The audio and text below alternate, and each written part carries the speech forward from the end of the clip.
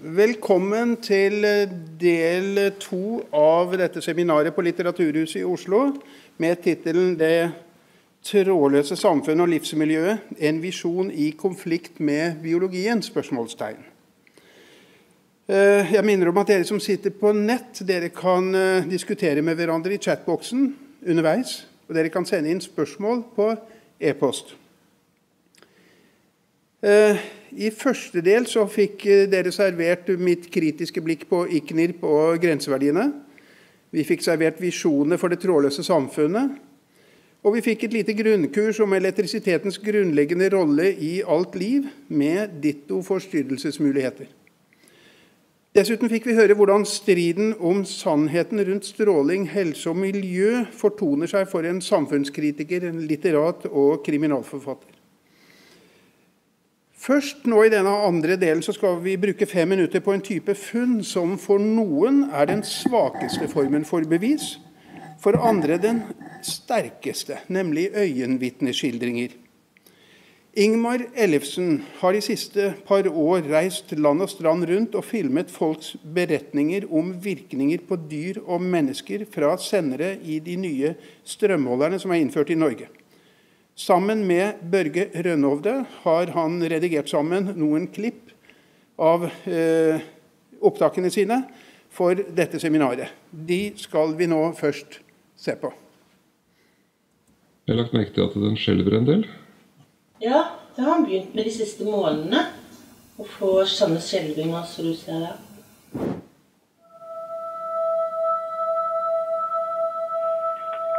Vi stod och tittade på den. Alltså, vi hade ingen tanke på att kaninungen skulle dö. Utan jag og en, en bekant då från, från Belgien stod här och tittade på dem. Så, de satt helt fredligt och spiste. Så la sig ena på sidan och dog och ryckte till och bara dog.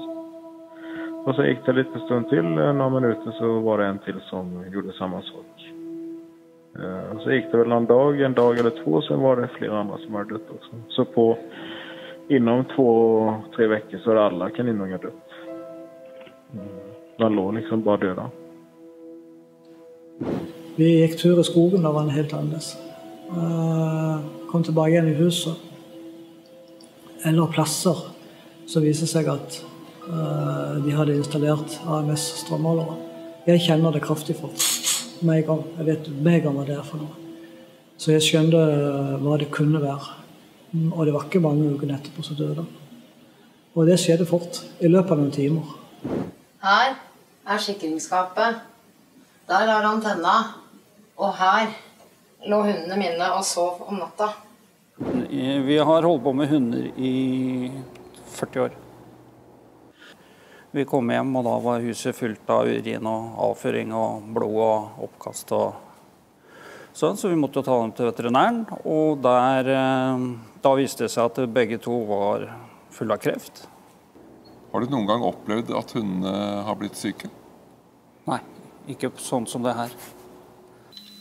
Her er sikringsskapet. Det er da rett under der hvor salongen og hundene bodde. Det er da fra den måleren og opp så er det ca. en meter til øvre gulv. Ikke noe mer.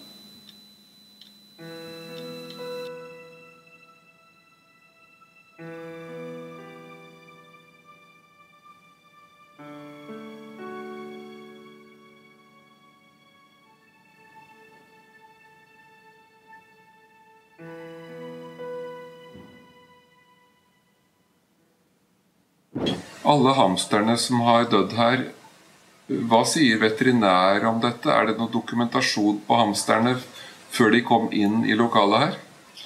Alle, alle hamsterne som vi får til lokalet her, får vi gjennom et firma som veterinær godkjenner. At det er en veterinær som ser over alle dyrene, og de, vi har veterinærattest på at de er helt friske når de kommer her. Og det var jo ja, et högst märkligt beteende. Jeg har jo haft mye dyr gjennom årene. Kanske ja, minst 20 år kanske haft djur av olika slag och aldrig sett det beteendet tidigare. Att, att ett friskt, friskt djur bara lägger sig på sidan och dör och sen samma stund, tre minuter senare, så dör också en, ett syskon av samma djur.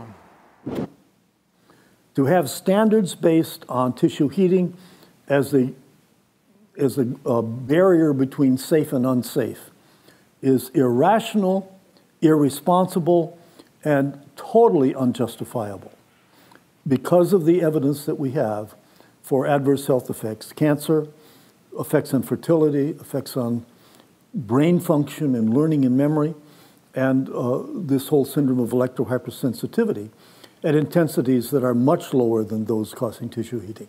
Før 11. februar så brukte jeg daglig wifi. iPhone, iPad, iMac, Sonos musikkanlegg, varmepumpe, varmekabel på badet og annet elektrisk utstyr i huset. Uten noen plager.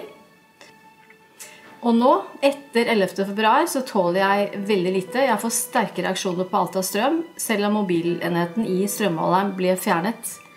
Eh, jeg forsøker å være inne, men klarer ikke å være inne lenger om gangen. Altså jeg må rett og slett ut. Jeg blir så dårlig. Og rett og slett så føles det ut som Skagerrak har frarøvet meg både helsen min og hjemmet mitt. Eh, alt er dokumentert, men like fullt og helt så, så opplever jeg nå at, eh, at Skagerrak har spilt russisk rulett med helsen min eh, over så lang tid. Ja, måleren står rett ut forbi døren til soverommet vårt.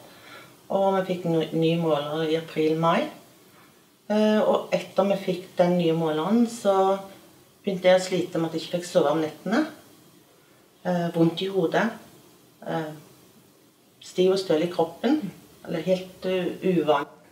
Unfortunately, in the US and around the world, most standards are set on the mistaken belief that there are no, there are no adverse health effects of electromagnetic fields except those caused by tissue heating. Ja, takk til Ingmar Ellefsen og uh, til hans kollega Børge